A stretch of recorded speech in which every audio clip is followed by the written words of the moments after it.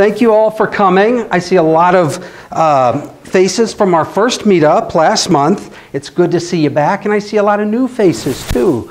Um, so thanks for coming back.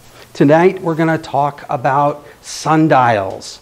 And as simple as this little thing seems that sits in your garden, telling time, usually wrong, right? Um, as simple as it seems, it's actually a very complicated and ancient technology around which is wrapped all kinds of knowledge. It's an opportunity to touch so many topics in astronomy that it is priceless. I hope when you leave tonight you go, wow, my mind is blown. Okay? So, uh, hopefully, uh, you registered when you came in. If you didn't, just when you leave, register with us if you would. Uh, these are the organizations that sponsor and are, uh, uh, organize this event the Geauga Sky Watchers, the Foundation for Geauga Parks, the Geauga Park Districts, and uh, District, Geauga and Burton Public Libraries. Thank you to Donna Mueller of this library for helping us set up today and allowing us to use this venue. And of course, uh, my organization, the Chagrin Valley Astronomical Society. I had our mission statement cycling through earlier. I hope you had a chance to read that. But our hope is to help make bright minds shine with the light of new knowledge. We inspire the next generation of working scientists in our community by looking up. And that's our motto we look up. Okay?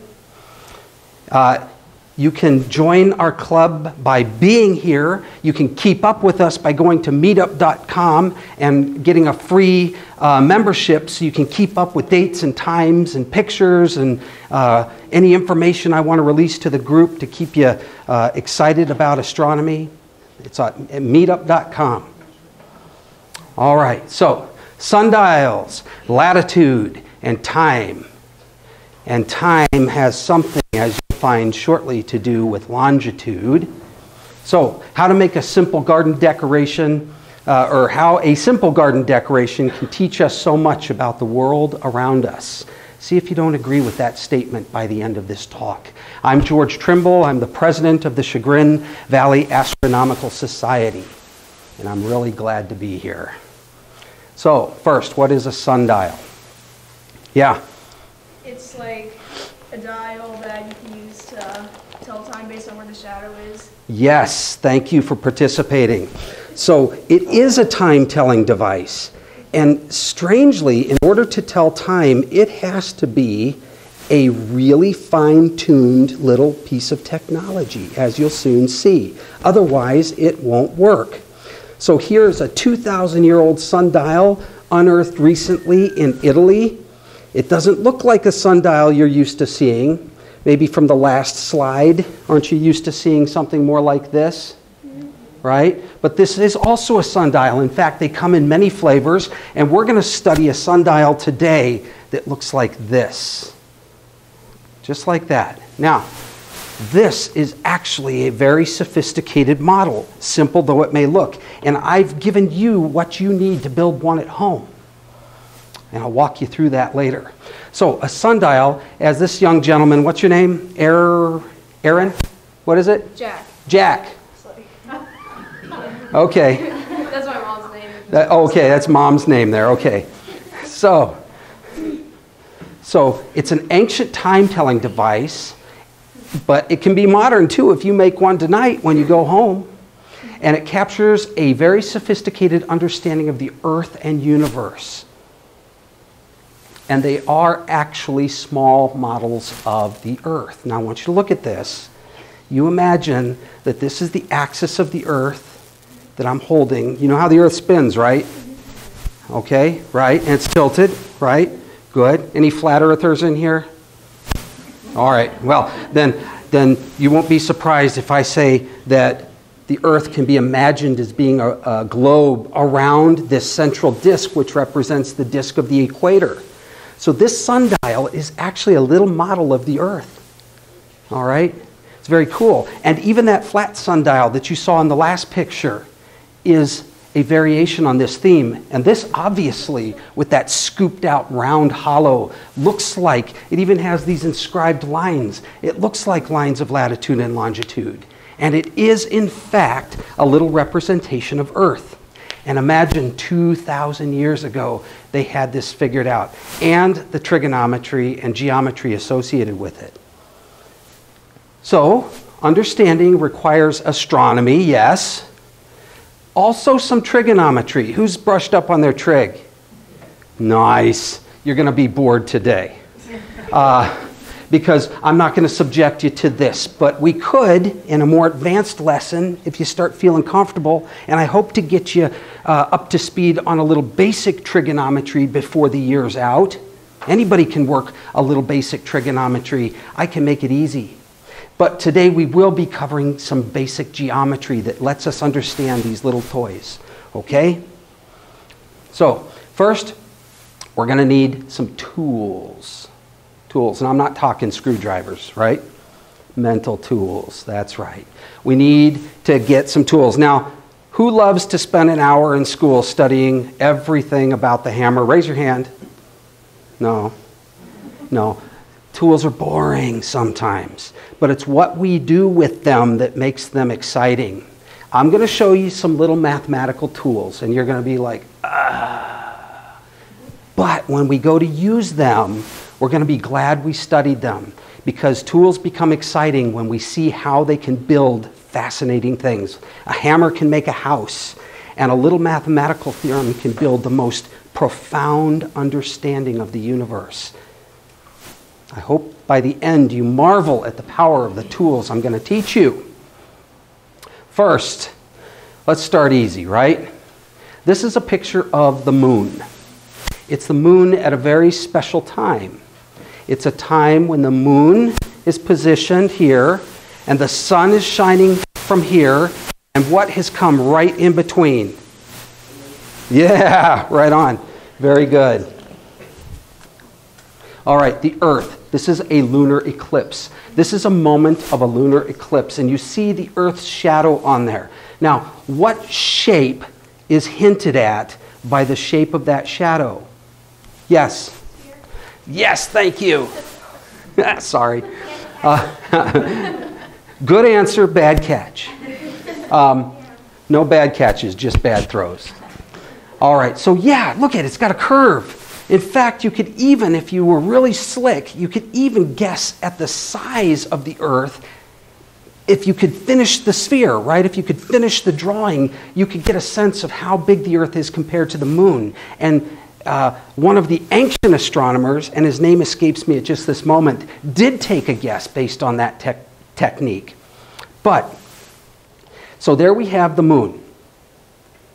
And interesting, all over the earth, when an eclipse of the moon occurs, whoever can see it, whether they're in California or New York, they see it at the same time. The event is just the event. It happens right there, but they all see it. And guess what? What? A few years ago, I forget what it was called, but I saw one of the major eclipses. You saw a solar eclipse, maybe? Yeah. Did you have to wear the glasses? Uh, This- no, the no, it was protective- At night. It was at night. Oh, okay, so it was a lunar eclipse. Oh. Like a blood red moon. Yeah. Nice. Very interesting. It is interesting, and you can see some of that red color here and here. I've seen solar eclipses too. So, they all see the lunar eclipse at the same time, but when they, when they talk to each other, New York calls California and they say, What time did that thing happen? Guess what? They don't agree on what time the event occurred. I'm going to show you shortly that that implies that the Earth is round, and soon we'll see that it's not just a round disk, it's a sphere. That happened to us at the lunar eclipse. We were in Milwaukee. We happened to someone in Florida. And Mm-hmm. It- yeah, it was hilarious. It's, it's nice. So now we've got a potential view of Earth here. This is the Flatlanders world, where these little guys here, see those little guys? All right. Um, the sun rises here in the east, it comes up and it sets in the west, just like it does in your world. And Notice as the sun rises, instantly the light rays go all the way across the surface. And so each of these flatlanders, whether they live in the west or in the east, they both say, I just saw sunrise. Okay? Now, is that the way the world really works? No? Does some, do some people see the sunrise before other people? Yeah. Yes. Yes, they do. Now, this is very interesting. It tells us that this hypothesis is wrong. It's the wrong view, it's the wrong model. Because if our Earth is circular, you're going to be on different sides. Brilliant. So one sees, it, it's not like the sun goes, "Oh, I'm going to go all the way around the globe to you over there. You're right. So they will see it at different points, whereas they will see light while the other sees dark. Because once again, the planet walks out the sun's light. Right on, buddy. Give me five. You should be up here giving this talk. You actually are doing what we call foreshadowing. Uh, you're going to see that that's an exact, you basically painted the next slide oh, for me, okay? But let's look at another possibility. Is the world shaped like a bowl, like this? Well, let's, let's explore, yep. Okay. No, you're right. nope, it's not working, is it? Not a cereal. it's not a cereal bowl. Let's explore the consequences of this viewpoint, this hypothesis. Here's a guy in the east, and here's a guy in the west. The moment of sunrise, a beam of light skates the surface of the earth and hits the guy here in the west, and he says, Sunrise! And this guy says, I don't see it. He's in the shadow. So, is this the way we experience it here on earth? And the answer, as you say, is no. So, let's investigate. Now, this is kind of a busy slide. Ignore this half, okay? okay. Let's just do this half. Okay, thank you. That's So, just as you said, uh, people are located on different sides of a circular earth or a spherical earth. The light is coming from the east just at the moment it peaks over the horizon. He says, I see it, I see it. But the light just keeps going off into space and it misses this guy. It doesn't take a U turn. So he says, I'm still in the dark. I don't see the sunrise yet. At some time later, the sun comes up around its arc. It's at noon. It's raining light down on this guy here, and he says, Noon, right? And this guy's only just experienced it peak over his horizon. So it's so just a little bit of light's coming down. Mm-hmm. Well, it's just coming over the horizon. It's like I can only see you right there, not down here, right there, right? All right. And do, what do we call this moment for this guy here? This is his sunrise. That's right. So, um, thank you. This is actually how life works. And so we can come to the conclusion, can't we, that the earth must be shaped like this as opposed to the other possibilities. Yes, thank you. Now, here's something really cool.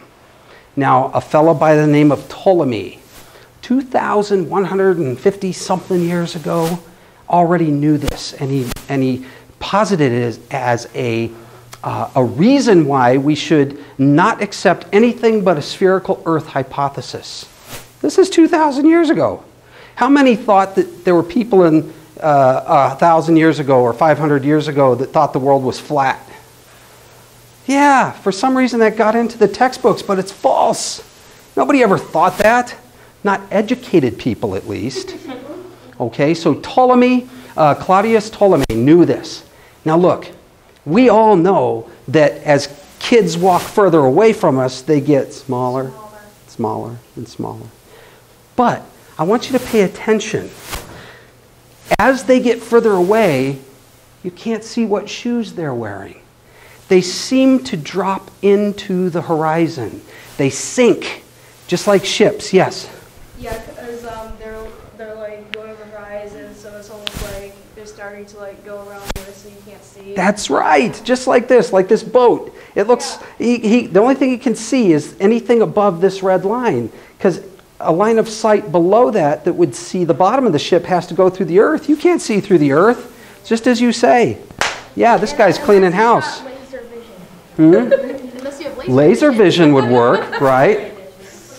So, not only as things go further away do they appear to get smaller, they seem to shrink down or sink down into the horizon. Mountains. Now, I've sailed on a sailboat to Tahiti solo, and way off in the distance, I could see just the peak, and I thought, oh, I made it.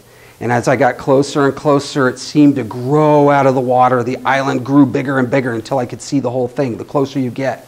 All right. So, here's this guy I was telling you about, Ptolemy, 2,154 years ago.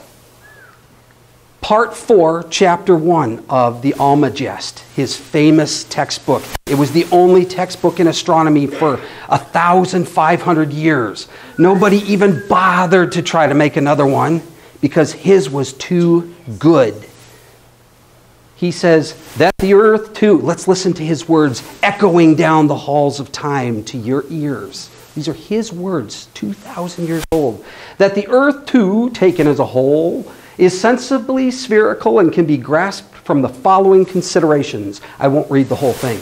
We can see that the sun, moon, and other stars do not rise and set simultaneously for everyone on earth, but do so earlier for those more towards the east, later for those towards the west. We find that the phenomenon of eclipses, especially lunar eclipses, which take place at the same time for all observers, are nevertheless not recorded as occurring at the same hour, that is, at an equal distance from noon, by all observers. Dot, dot, dot. He did my whole lecture. This is, this is 2005, uh, uh, 2,200 years ago. Yeah, he had it all down. So now you understand what he's talking about. This was written in the language of his time, uh, which would have been Greek. It was preserved by translation into the Arabic language and came to the West preserved by the Arabs. And so we have it now as a translation, uh, a famous translation by G.J. Toomer. So here's our first rule, our first tool, a screwdriver, if you will, in our toolbox, right? It's called the sphere rule. The earth. Now, really, I haven't established that yet. I just established that it's a circle. For all we know, it's a disk. And that ship is just sailing around the edge of the coin. But here's the fact if you're out in the middle of the ocean and ships are sinking as they go away, they seem like they're sinking over the horizon, no matter which direction you look, as ships go away from you, they sink over the edge, and that's powerful evidence that we are on a sphere. Okay? All right. It's a lot of talk for, look, googly eye. It's like, uh, all right, a lot of talk to establish what we already knew. But starting with first principles is important. It makes you feel like you're building something strong. So, who's used a protractor? Raise your hand. Right on, everybody. Okay, what does a protractor measure? I used it in portraying, I forgot all about it. You don't know what a protractor measures? Yes? Oh, yes, good. Here comes. Right on. Angles. Good. All right. So, let's remind ourselves. A protractor has all kinds of markings on it, lots of numbers. It's confusing. We only really need one row of numbers. I'll show you here in a second. But there's a little hole right here. There's always a little hole where you can put your pencil tip, and that's where you line up the intersection of two lines, and you're going to measure the angle they make to each other, right? Lines can come uh, in an oblique angle, a right angle, or what's called an. Yes! There we go. All right, all right. So let's see. Let's put the ground on there. I've made it green because it's grassy. Okay. And in the ground, let's plant a pole. Oh, well, first, this is the scale we're going to use. See?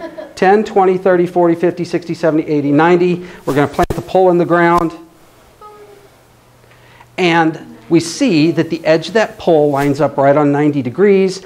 That the tip of the pole and the grass intersect right at that little circle I showed you before, that little hole in the protractor. And so we measure on a protractor angles. Now, what if some nasty little kid, after I did all that work, comes along, sneaks up behind me as I'm walking away, and pushes that pole over to make a little joke on me. Little brat. All right, now we measure 10, 20, 30, 40, 50, 60, 70. How many degrees would I have to push that pole back to get it back up? Yes. How many degrees do we have to push it back up? Yes. Right on. I was worried that nobody would answer that one. Very good answer. Thank you. All right, so there it is. We pushed it back up 20 degrees. Now, can you tell me how many does this add up to? Wait a minute. No, no. But good try. so we've got 70 degrees and we've got 20 degrees. How much does that add up to? Uh, 90. The original 90. Right. So you were talking about the whole pro. I know you were talking about the whole protractor. I should have asked my question more carefully. But yeah, what I'm trying to say is that when we subdivide a right angle, that's a 90 degree angle, a right angle, when we subdivide it, all the little pie slices still add up to 90. And that's the point. Another little tool to stick in our toolbox. Can you remember that? Let's do another one. All right, that's 40. Now the pole fell over again. Okay? So the question is what's the leftover? I'm going to pick on somebody new now. What's the leftover amount? So, we, in other words, what's the angle from here, 90 to here? It's missing. I didn't have it, I don't have it listed, but we should. What? Yes! Yes, thank you. And that's in your head, you say 90 minus 40. That's the tactic. 90 minus 40. These kids are cleaning up. I'm sorry, parents. They are going to be pinging off the walls with sugar tonight. All right, so there's 50 degrees, and you had the right answer. That's exactly right. All right. What am I doing now? All right, so we come to our next little tool. Our, our rule number three now, I think we're on. Or, yeah, number two. Rule number two. When you slice up a piece of pizza, like this 90 degree quarter of a pizza, into smaller slices, the slices still add up to 90 degrees. It's the 90 degree rule. Say 90 degree rule. 90 degree. Right on. This is going to become important later. Those pieces add up to 90. If I cut it that way, it still adds up to 90. All right. Okay, gentlemen in the back, what special name do these, uh, do these lines bear? We call these lines that never meet, like train tracks. Right on. All right. Now, I'm saving the hard one for you. All right. All right. Parallel lines, right on. Now, when we do the following, we cut parallel lines by another line. We call this line a transversal. Now, nobody answer. I'm saving it for this one over here. Okay? What can we say about that angle and that angle? Yes? They're what? Acute.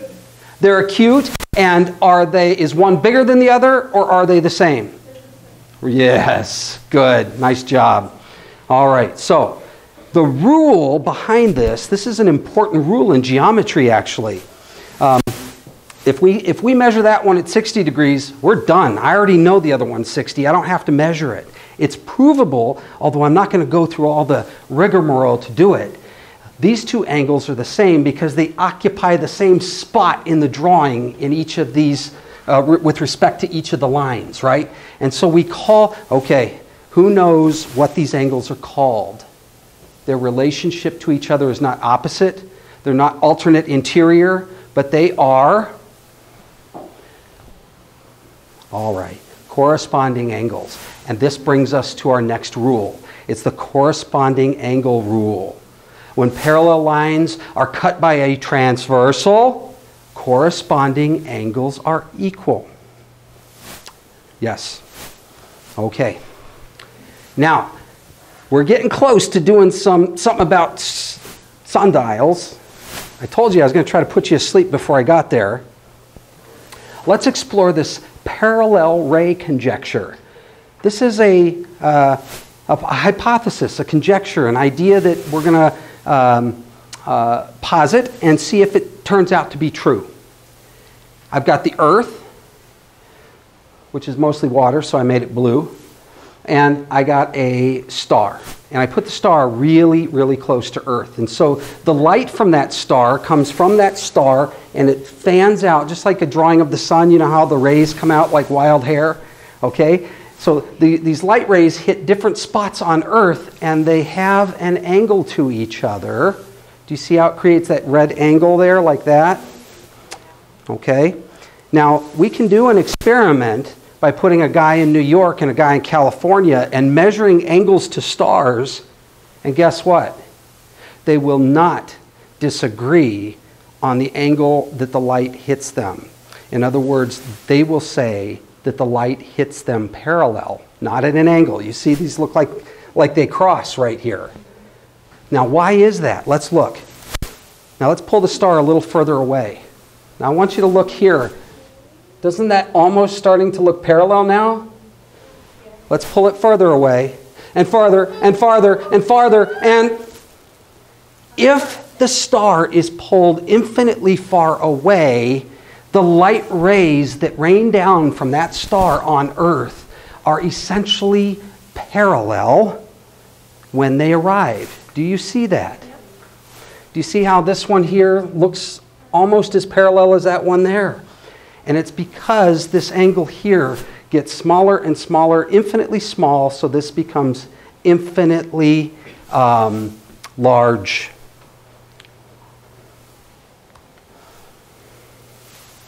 So the parallel rule says the stars are so far away that the light from each star rains down on Earth in essentially parallel rays. So in my drawing, I'm not going to have the star shining its light down from a central point like a teepee. I'm going to have it raining down like it's coming straight down like rain, okay? So we're getting close. This brings us to an essential question in astronomy and in sundials in particular. What is latitude? Now here's a picture of Earth and you know, just as well as I do, that the real Earth doesn't have these little blue lines crossing it. That's an idea that we put on there. So we can say that my town in Africa is two over and one up. That's where my town lies. It's just like a street map we use latitude and longitude, right? Have you all experienced this before? All right. So here, we've cut out a little wedge of the earth and thrown it away so we could see down into the center of the earth. And I want you to see something cool here. Watch. See that angle I just did? I'm going to do it again. See it flashing? There's a red line and a green line. See it? Well, that angle, if we measure it with a protractor, measures 30 degrees. We could pick any angle. We could make it 50 or 70, and it would look different. But watch, if we were to take that angle and keep it on the center of the earth, keep the point at the center, and just sweep it around in a circle, look what it would do. Did you see that? I'm going to do it again. Watch the red. You see it? It comes around the other side. Oh, yeah. That line is marked 30 degrees on Earth because the angle that made it inside the Earth was 30 degrees up from the plane of the equator from the plane of the equator. The angle coming up was 30 degrees. So we can get a formal definition that reads kind of like this. The imaginary parallel lines scribed on the surface of the earth by the tip of an imaginary line of a length equal to the radius of the earth, with one end fixed at the center of the earth and the other end rotated 360 degrees around some fixed point uh, around at some fixed angle from the equator. Ugh. Makes my eyes cross. so let's do drawings. Those are easier to understand. So there's the plane of the equator. There's the dome of the top of the Earth. We're only looking at the top half. Let's ignore the bottom half. Let's pretend the Earth is made of glass, and we're going to draw a 30 degree angle up, and as it traces around, it makes an invisible cone inside the Earth. The base of the cone is a circle, and the edge of that circle defines on the surface of the Earth the 30th line of latitude. And we could do it at 45 and we could do it at 70 degrees, and look at that. Looks familiar, right? Now you know why that line is on, scribed on the surface of the Earth here is called 60 degrees. We know where that angle came from. It's inside the Earth. Okay. Why is this important? All right, let's look here. Let's finish this thought. This is a side view of Earth from space. You see the lines of latitude. so happens that we live at 41.5 degrees north latitude, 41.5 north of the equator. If you're in south latitude, then the line is down here. But that's us on this line up here. So I'll draw it across as if it sweeps through its circle, right? There it goes, all the way back around the back into the beginning. Okay? And if I superimpose a map of the Earth, you see that right up here near the Great Lakes above Florida, that's the United States, that's where we're at on this latitude line. Okay? All right. But how do we know that our latitude is 41.5 degrees? Yes? Oh, I should just throw this whole bag at you. Let's go home. We're done. We're done. That's the whole point. Yes. That's like worth four or five. It's, that's huge. Okay, good, good, good. So, she just gave the answer away. I'm going to cry. Oh, that was my big. that was my big aha moment. All right. So let's figure it out. But we're going to come up with your answer using first principles. The tools we've put in our toolbox, we're going to pull them out and we're going to discover what you just said. Here's the Earth, and this is a side view from space the North Pole, the South Pole. Okay? Let's put the equator in, shall we? And uh, you, right there. There you are, right there. And we know you have some latitude, but we don't know yet what it is. So we're just going to call it the latitude. We're going to hope we can discover it. Now follow carefully now, follow carefully. The line connecting the center of the earth going up to our feet is our latitude line, and if it goes straight out of our head up into the sky, the point directly above it, the, of, above us, we call that our zenith, our zenith. So I'm going to call this the zenith line, if I may. And you see the line that the zenith line makes with the equator, we call it the latitude. And standing right here, the earth looks flat to me. Don't you guys agree? It's really hard to look around you and discover the sphericity of the earth. Don't you agree? It's so big. The curvature is so small. And plus, we have little rough variations like mountains and valleys and rivers, and the trees are in the way. So let's just pretend that nearby us, the world is sensibly flat locally. It looks flat locally. And so I put in this little flat, we call it the horizon line because all around the horizon looks like just a flat disk to us. Okay? So, there's the North Star, and we're going to use one of our rules right now. Here's the rule. This is the parallel ray rule. Remember that one? I can draw it that way, can't I? I don't have to draw it like a tent. Right? Like a TP. So notice one of the rays hits the North Pole, and one of the rays from the North Star, which is way up there, hits us right at our feet. And it's that one we're interested in because it's that one we can see and measure. Okay? Now I'm going to extend that one down as if the earth was made of glass, right down to the center of the earth, so we can do a little bit of geometry. I told you we were coming to that. Didn't mean to scare you. Okay, now let's take, because this is getting messy, let's take a couple of these off to the side, these lines, so we can work with them separately and see if we can't discover something. So I took that line, I took that one there, right? I took the zenith line and I left all the else, uh, uh, other stuff out. If I tell you this is the latitude, and this is 90 degree angle, which it is because we can count 90 degrees up from the equator. We can count 90 degrees up and we hit the North Pole. So, what can you tell me? Okay, raise your hands. What can you tell me about this angle? Oh, okay. Um, I'm, okay, you. The, the both the angles would add up, add up to 90 degrees. Good. So how would we write that here? What do we call that angle? We don't know what the latitude is, so we'll just call it the latitude, but we know it represents a number. You. What? Okay, fine. That's a sneaky little answer. It's not the one I was looking for. How would you calculate? Yes, you're right. You got me there. You got me there. How would you calculate the value of that angle? Go. Nope. You have you can't calculate a real number. You can create an equation. Yes.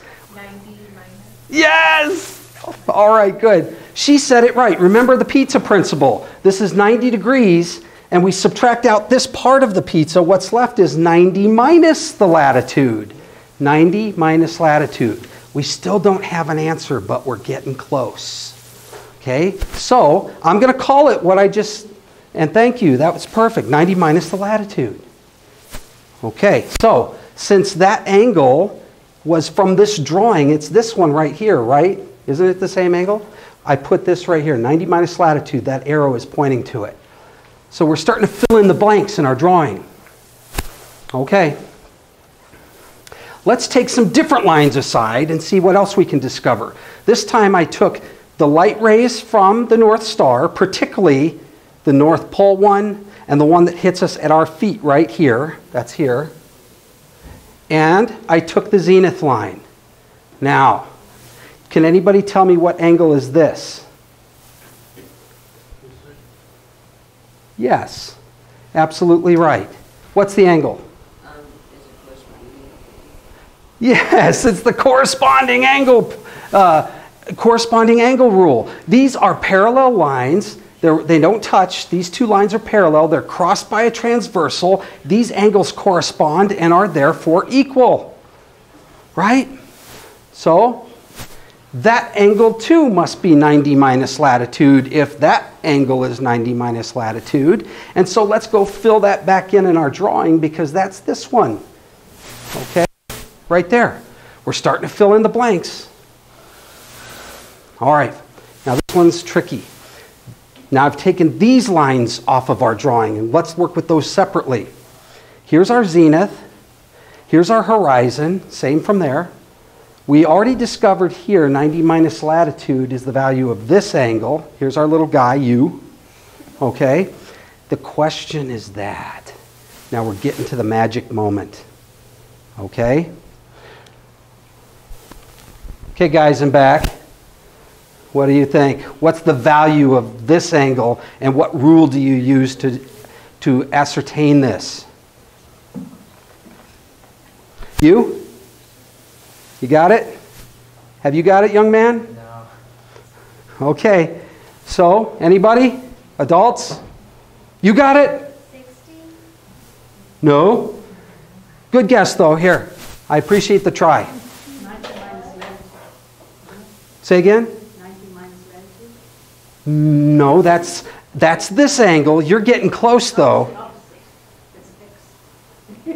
Anybody? The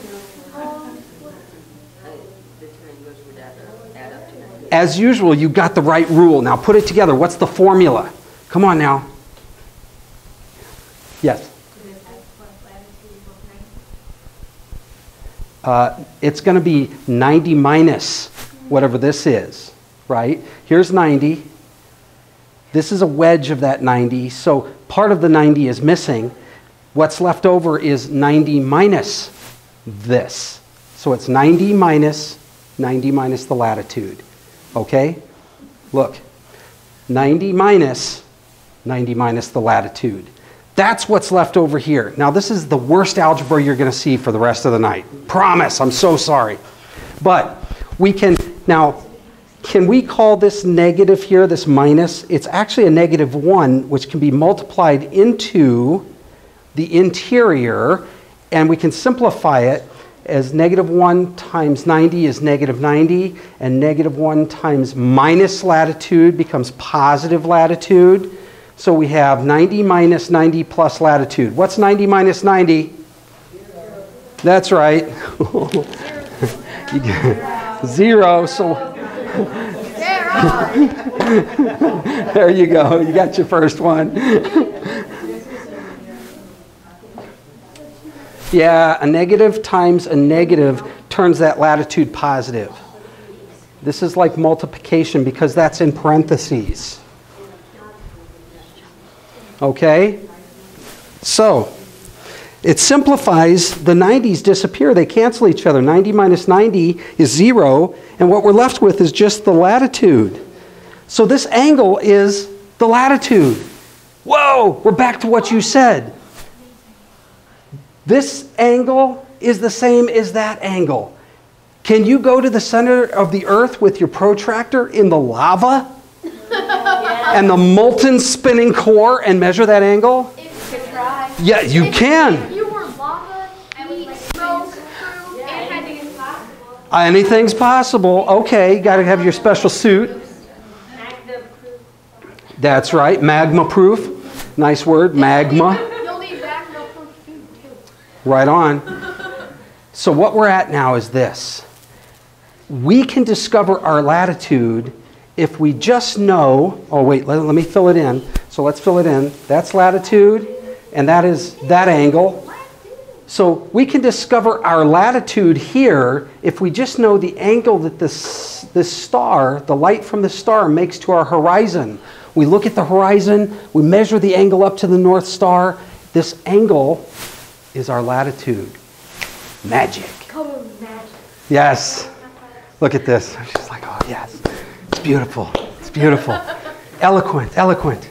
Okay, so this is powerful because no matter where you are in the northern hemisphere, if the North Star is visible, you can discover your latitude on Earth.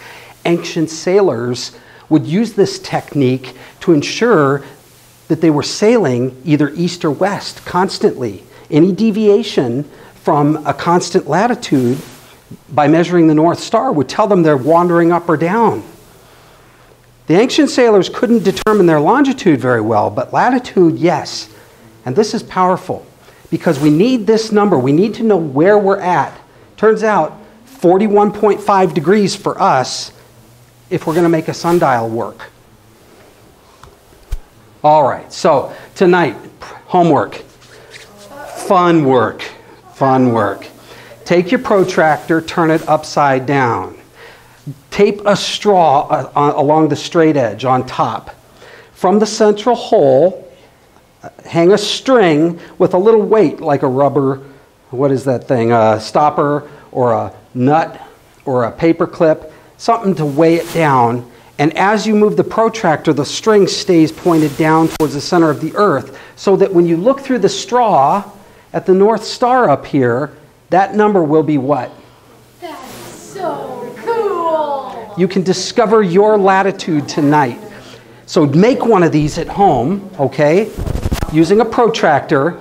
As you see the North Star come into the straw, centered within the little circle, ask dad to shine or mom to shine a flashlight on the side and read off the number. It'll be 41 and a half degrees. Very, very cool. You just did some real astronomy. That is awesome. It is, yes. How do you find the North Star? Ah, so do you guys know what the Big Dipper is? Yeah, yeah. Okay. I learned about this in the astronomy book. Okay, Marty's going to kill me. Is he in there? Good, good, good. No, no, don't.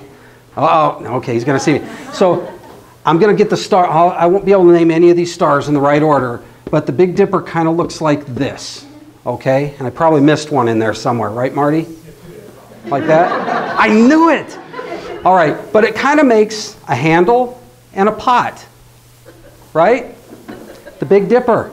Now, the edge of the pot of the Big Dipper, these two stars, they line up, and up there is a very faint star all by its lonesome. That is the North Star. So look for the Big Dipper and look north. I, I found it before. You've seen it I before? read it about it in the Southern Hemisphere. Uh, so, I knew somebody was going to ask that question. That's a great question. What do you do in the southern hemisphere?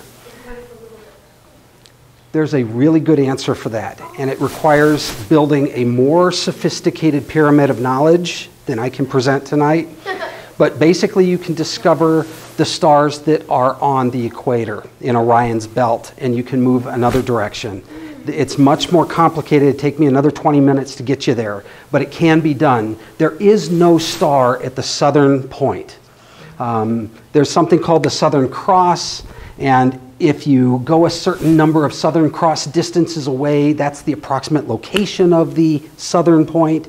But um, there isn't an object that you can look through and discover your latitude, your southern latitude. Luckily, most of civilization developed above the equator. All of Greek and Roman and all of uh, European history and the history of astronomy was built north of the equator, and that's um, that's highly ethnocentric because there are some civilizations that were able in the southern hemisphere to navigate uh, incredible distances, the Polynesians in the southern hemisphere without the North Star. So I don't want to discount their astronomy. But most of what we call uh, uh, Western astronomy, of course, was developed above the equator. Okay, so. So finally, what's this got to do with sundials? I was here for the sundials. Okay. Well, to tell time from the sun, you need to know your latitude. Now, this is very cool. If you poke a stick in the ground, the way they used to try to tell time, it doesn't work very well. But if you tip that stick so that it points to the North Star, now you're onto something.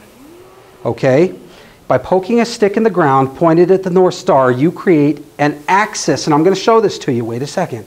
I'll get to you in a second. That's, I'm sure it's a burning question. This axis will be parallel to the Earth's axis. Now it looks weird because our, our, our latitude is 41.5. So, to, so this angle will be 41.5 pointing at the North Star. And you're like, wait a minute. Up is like this, but the Earth is spinning like this? Very weird. Now watch. If you put a disk over that axis, now the disk is aligned parallel to the equator. This disk is actually the plane of the equator now. And now you've got a model of Earth, and it's oriented properly like Earth. And now we have a chance at telling time. Now watch. You had a question, Ant. Uh, uh, also, are you able to use a compass to, like, in the day, if you aren't Yes. sure of the North Star? Yeah, right on.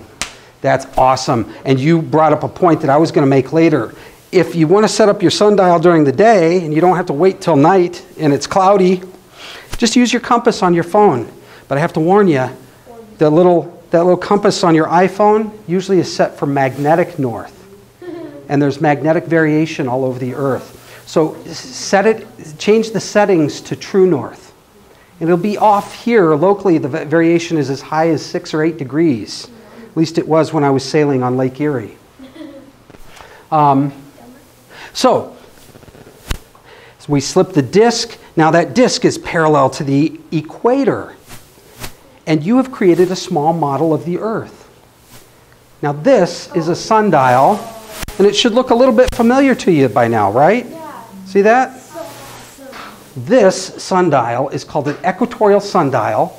Look at the rooftop here. We're in China. Yes? Is it an- another reason it has to be at an angle is because if it's straight up, the shadow won't go around properly? Oh my gosh. These guys are, this is brilliance here. I'm shocked and amazed. That deserves two. That's right, the shadow will not go around and tell time properly. The timing will be wrong, the angles will be off, and it'll only work for that day. You could set up a sundial, it would work for that day, and then the next day it would be a different sundial that you need. We're looking for a universal set of lines, universal. See, these lines have to be working every day to indicate time. Question? Come on, comment. Okay, fine. You looked like it though. You had this intelligent look on your face. Okay, so you see this little spear going through the center of the disc? It's oriented up from the ground for the latitude of China. Whatever it is, I don't know. It looks to me like 40 something, maybe 48, but whatever. And notice the lines scribed on the surface of the stone. Do you see that? And notice the sun is shining on the stick. By the way, let's get cool. This ain't a stick, it's not an axis, it's not a stick in the ground, it's called a gnomon. That's the formal language in sundial terminology. Gnomon starts with a silent G. Gno- gno- gno- Gnomon. So are the lines on a sundial, are they oriented with longitude and latitude lines? They are, or, these represent really timelines, and they are longitudinal in nature. I'm- I'll show you what it means shortly in the next slide. Yes. Do the lines represent like where the shadow will be at every hour? That's exactly right. I'm loving it. I'm loving it. One for you, one for you. Good questions, guys. Cleaning house. Okay. What can I tell from this picture? If this is if this stone represents the plane of the equator, and we know China is in the north, the sun must be below the equator because it's shining on this stick, this gnomon, and casting its shadow on the underside of the device from underneath. That tells me it's wintertime in China because the sun is below the equator. The sun varies throughout the year. The sun varies. Um, here's the North Pole. The Earth spins like that. The equator is right here, striped line. Sometimes the sun is up here in summer and down here in winter, and it varies uh, by 23.4 degrees on either side of the equator throughout the year. When the sun is in the north, we call it what? I had a question. Oh, fine, but still, you got to answer my question before you get one. Sun is in the north, we call it. Noon. Okay, eh, who, who said summer? Right on. Okay, your question. Ah, you can. There is something called a nocturnal that uses the North Star to tell time, and it's and the constellations that go around the North Star, like the Big Dipper, uh, where they are as the night goes is like a clock. The constellations circle the North Star, and so it's like a big clock in the sky. Does- Good question. I'm just curious, so for this, we have that the stick Hmm. is not in the ground. It doesn't have to be. Very, okay. Doesn't have to be. I remember you saying. As long as the stick is oriented, th- we call this parallel transport. As long as I take it like this, move it around, as long as it's still pointing at the north and I haven't done this to it, we're good. Yes? All these lines, like the ones I drew here. So this thing here is a piece of string I glued into place. It represents the equation of time. I'm glad you asked. What is the equation of time? You're going to know before the end of this lecture. This represents the 90 degree horizon line that I glued. Uh, it's 90 degrees away from Cleveland, which I've indicated here. So this is a very modified globe. We're going to get we're going to get to that equation of time, so I'm very glad you asked. Thank you. All right, so a lot we can learn now that we've developed a little knowledge just enough to be dangerous, right? We knew that it was wintertime when that picture was taken. So our goal is to figure out, well, how do we draw those lines? How far apart? How many? Well, we want each line to represent an hour on a sundial. And how many hours in a day? Yes. 24. Yeah. That's right. You earned another candy. Look at you cleaning up. All right, 24 hours in a day. 300. Okay. Who wants to do some calculator work for me? Hold on. I got somebody I I'm going to pick out. Ah, you did calculator work for me last time. I want to get this guy drawn in. Okay, do some math for me, buddy. 360 degrees in a circle. 24 hours in a day. How many when we divide? 360 divided by 24.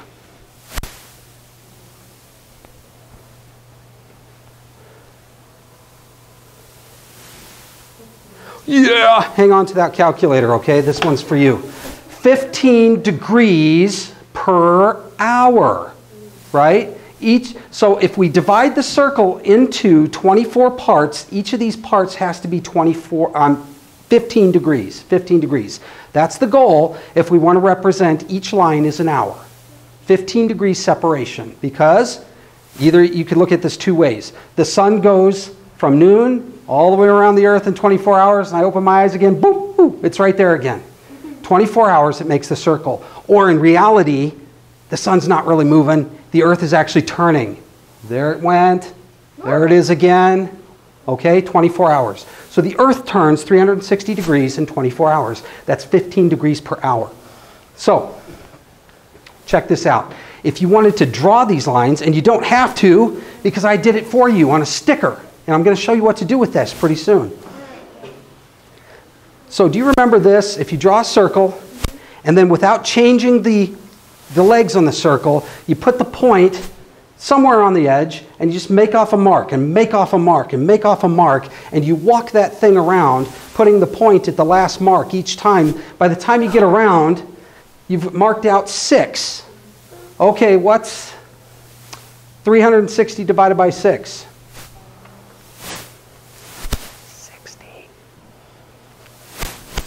I heard it. Thank you.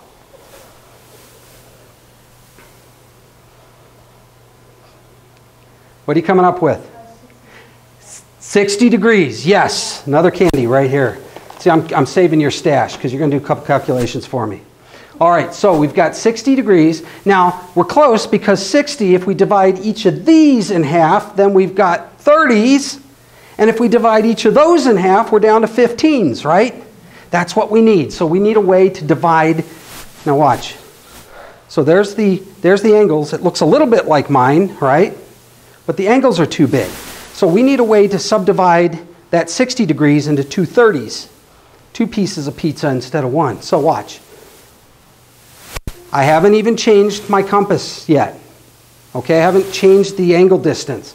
I'm just going to come here from A and sweep out an arc, and then to B and sweep out another arc, and they're going to intersect like that. And then I can connect the center point where they intersect to the center of the circle, and now I've cut that 60 degree angle into two 30s. And guess what? I can take that compass, not change the setting at all, put the point right there at that intersection on the side of the circle, and now I go walking around again, and I'll just end up walking out the halfway points. Now I've got that thing down to 30 degrees. Do it again, the whole process knocks it down to 15 degree slices. And now you've got what I drew, but I use some cool software to make it fast. Okay? All right, so that's if you wanted to draw your own with just a compass. So that's the goal right there. Oh, wait a minute. What's missing? Yeah, why? Why don't I care about these lines? Yes? Yeah, right on. You don't have any sun at night, so you don't need nighttime. And I wanted to leave room for a very special chart called the chart of the equation of time. What this guy was asking about. What's that string on there? All right. All right. All right, buddy. My little calculator savant. Okay.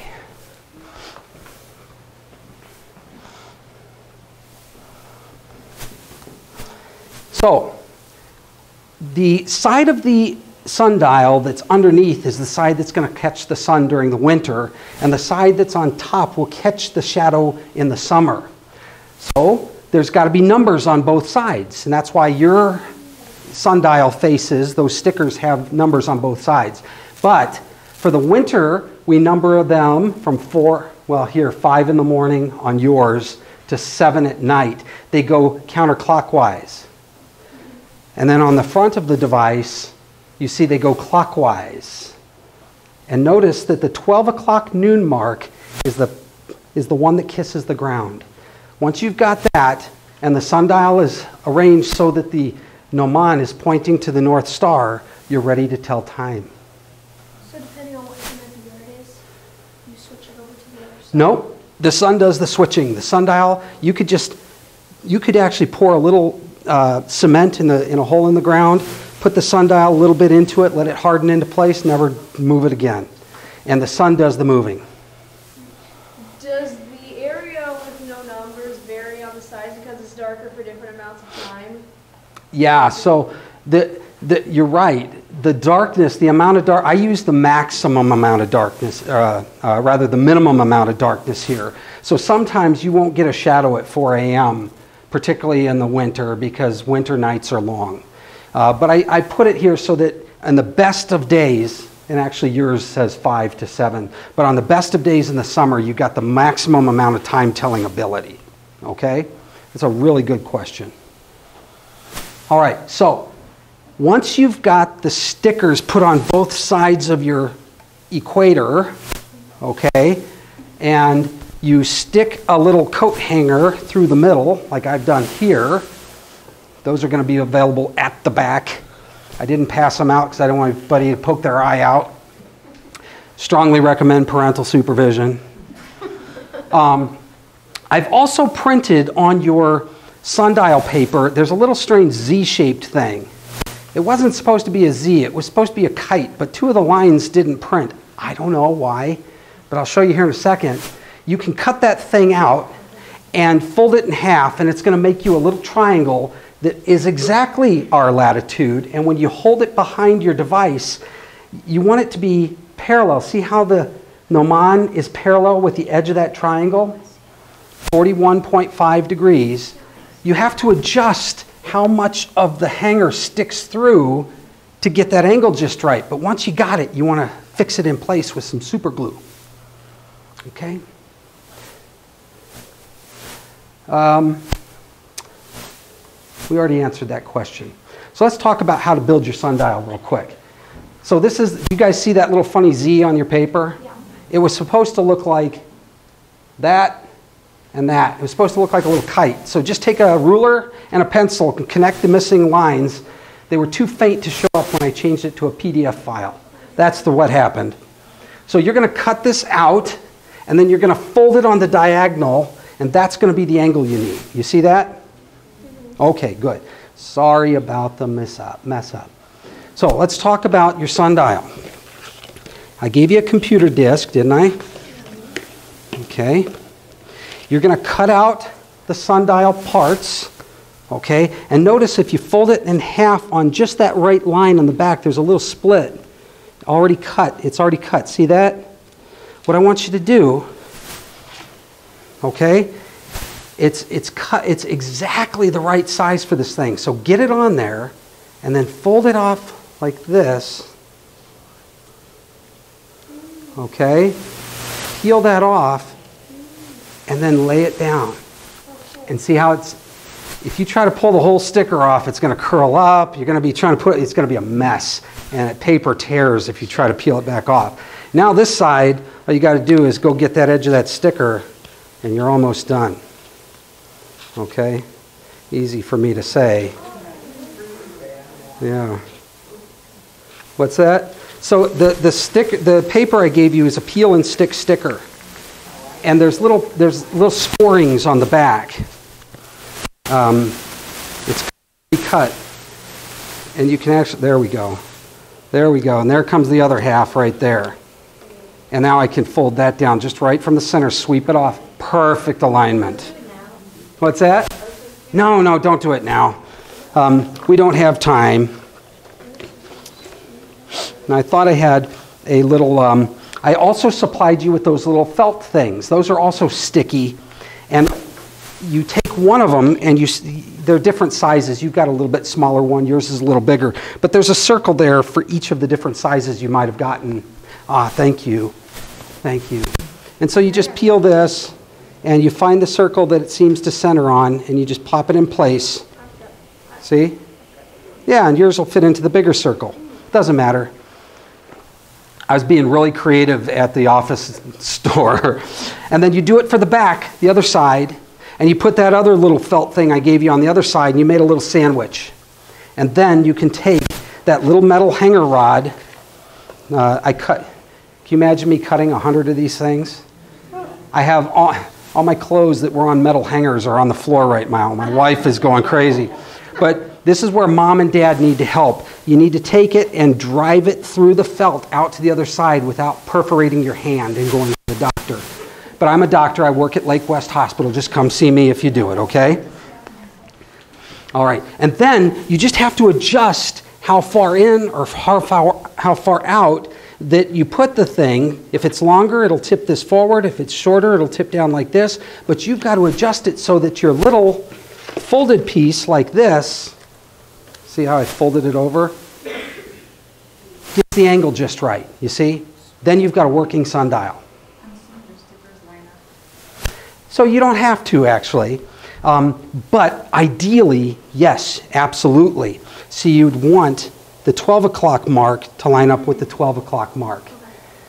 Now, if it's not, you can just you could just roll it so that the 12 in the winter lines up on the bottom, kissing the ground. It's not going to kill anything. But if you want to make something that's fixed and doesn't move, yeah, absolutely. Does it, does it matter what side we use for the? Yes, that's a great question. So look, this one's wrong. We've got to flip this little guy down like this. So the equation of time curve, right there, is on the, uh, on the up-facing side. So it's this side that's going to adjust, and you're going to kind of get down here like this, and you're going to measure, does it, do the angles line up, right? You're going to look from the, you can put it behind and look from the front and see if those angles line up. Okay. All right. So now you can make your own sundial. So here's that picture again. See how I'm making sure that I've.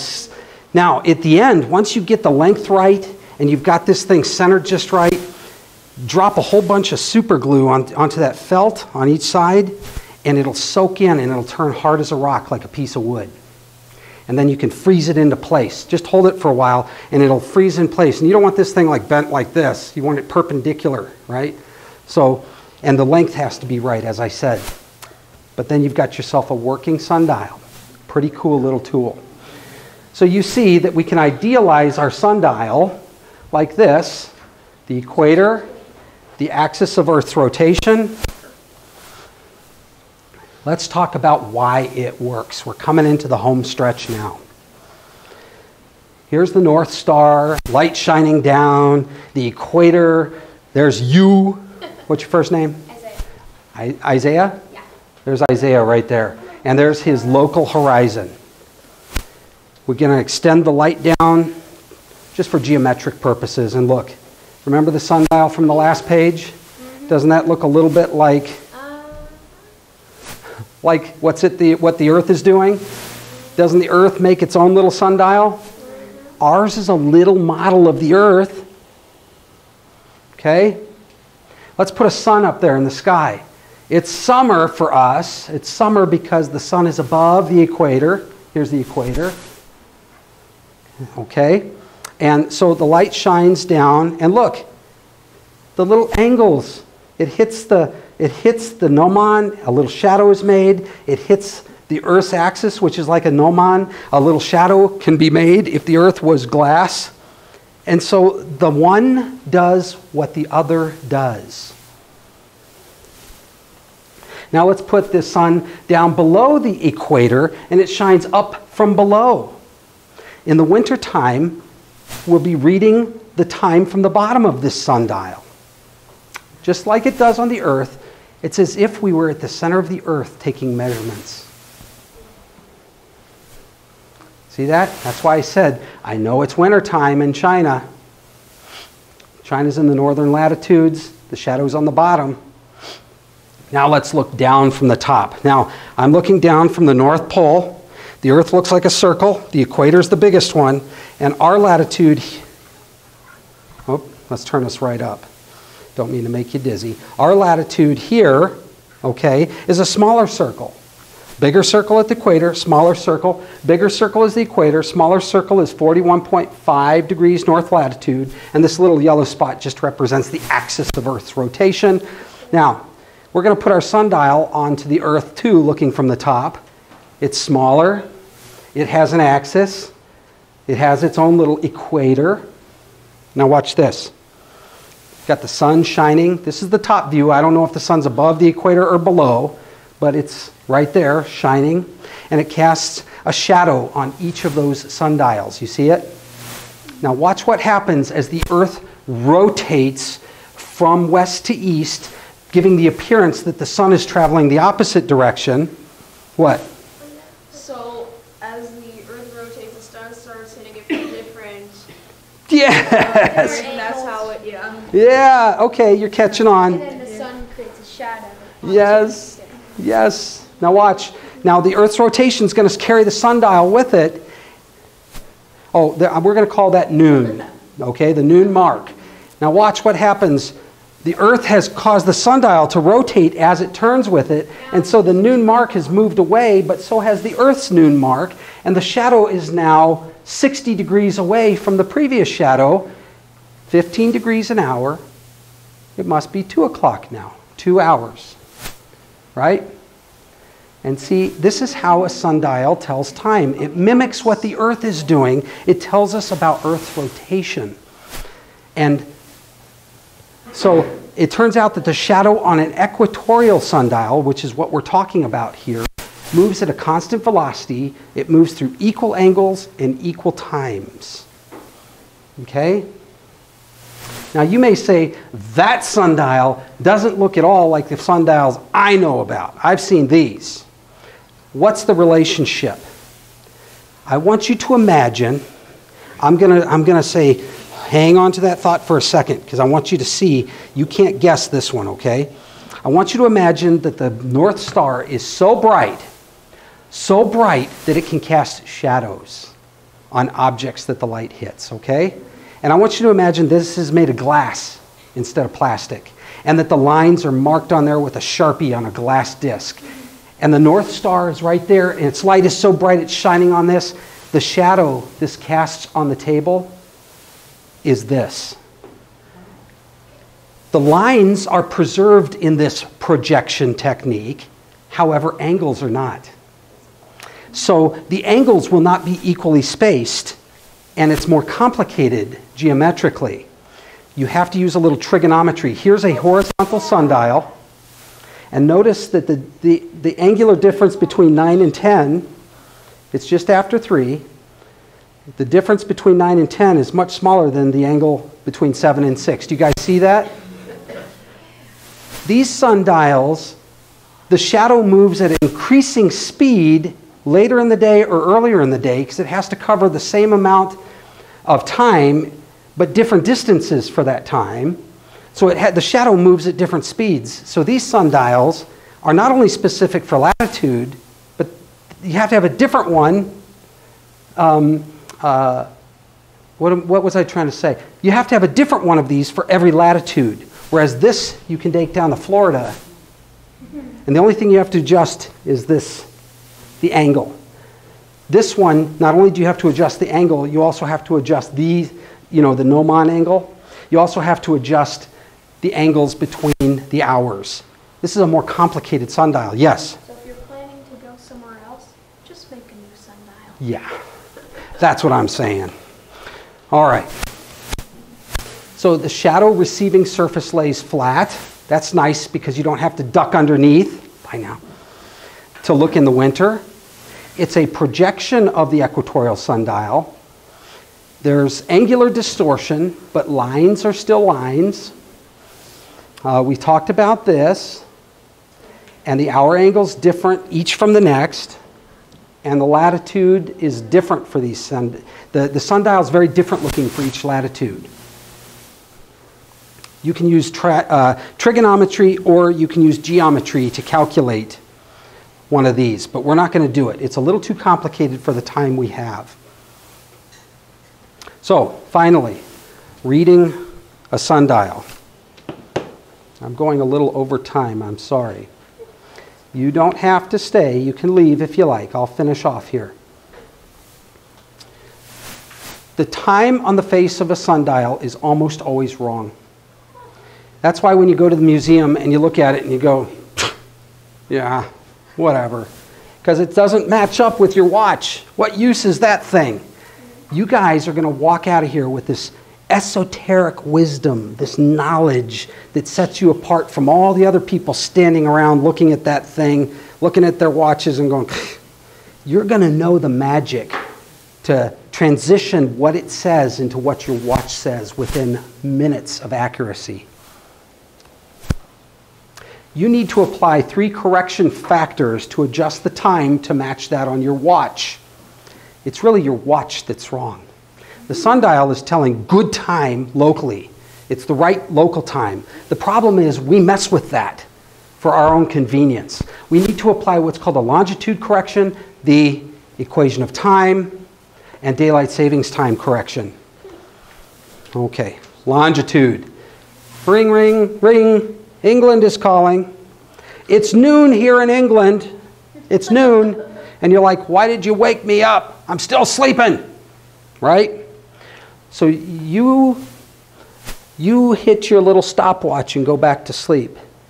You get up, you uh, make coffee. I don't know, you kids drink coffee? Make some bacon and eggs? No coffee. Right. And finally, the sun is due south of you. The sun is due south of you. You look south, you look up, and there's the sun. It started low, it got high, and it's just about to arc down into the utter west and go to sleep. But at that moment, it's noon for you, and you hit your stopwatch again and say, Whoa, whoa. Five hours have passed since I got that call this morning, and that guy in England woke me up. What does that tell you about your longitude? Five hours, 15 degrees per hour. Calculator, buddy. 15 times 5.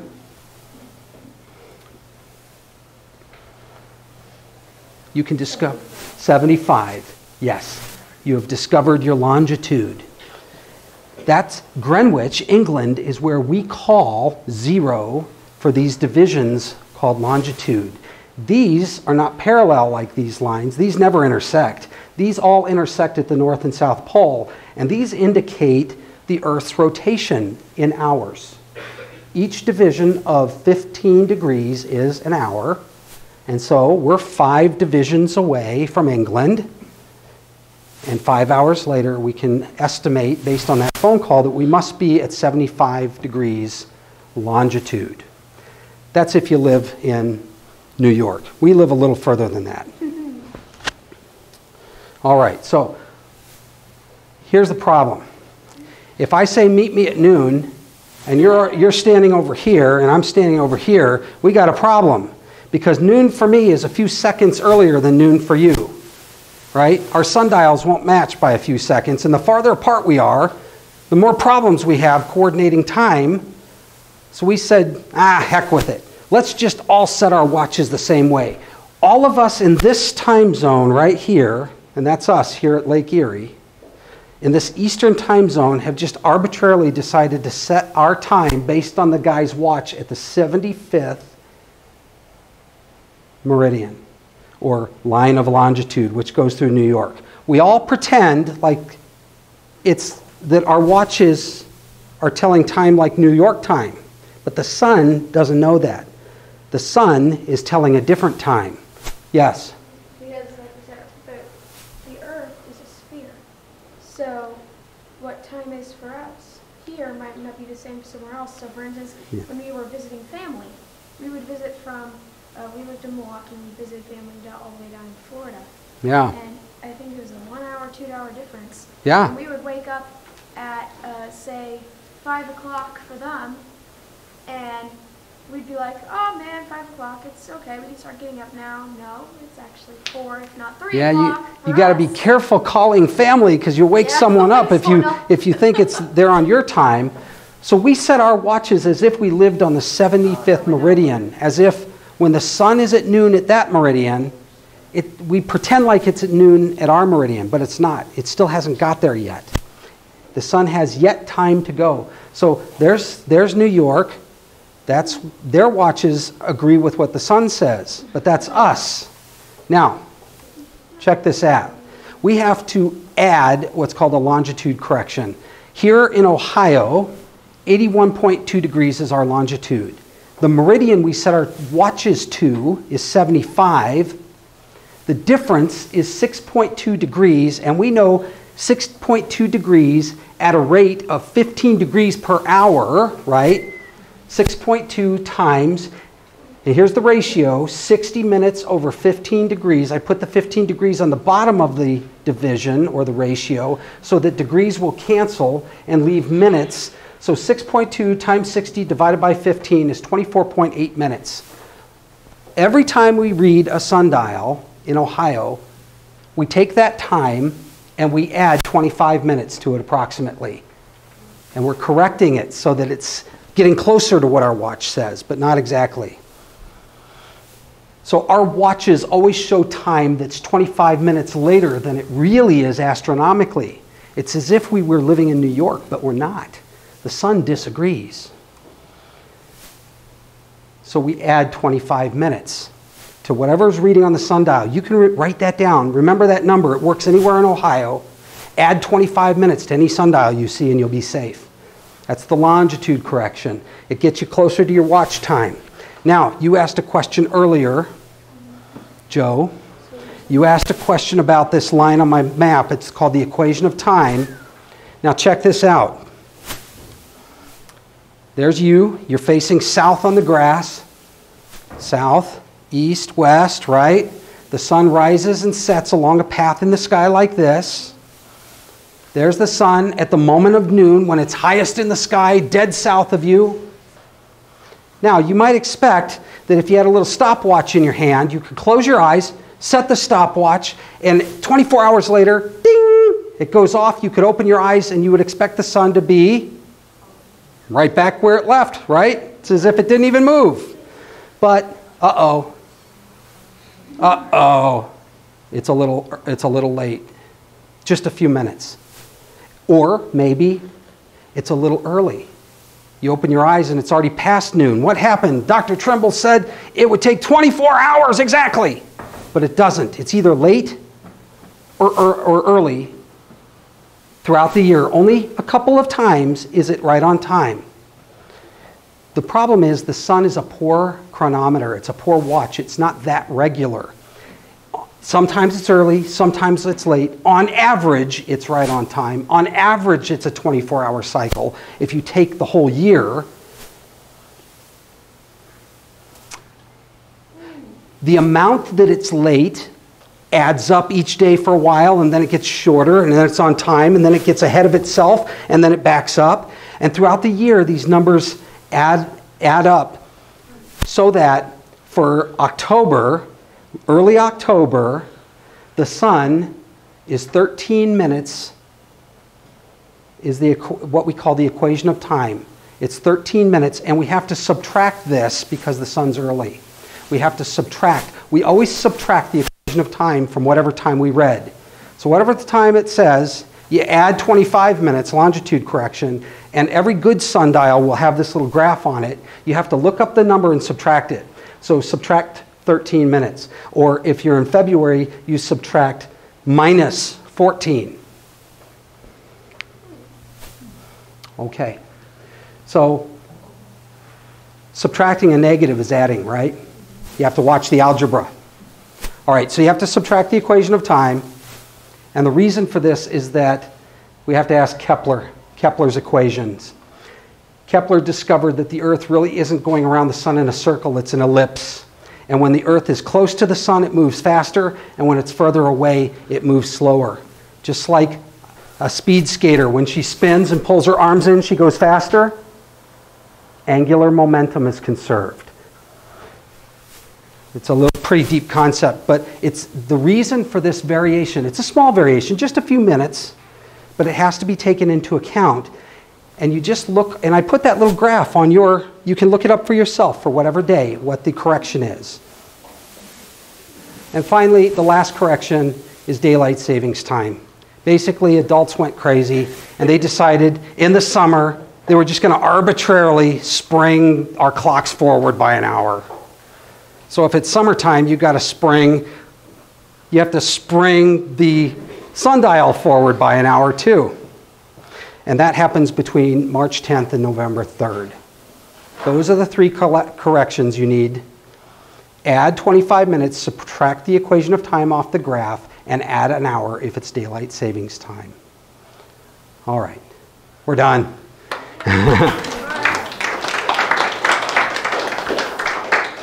Few little announcements. There's some snacks in the back if you want them. If there's some parents that want to get involved in helping us with the organizing these events, we need some help and we'd love to have you. Um, uh, this club won't be anything if we don't have people involved and helping and coming.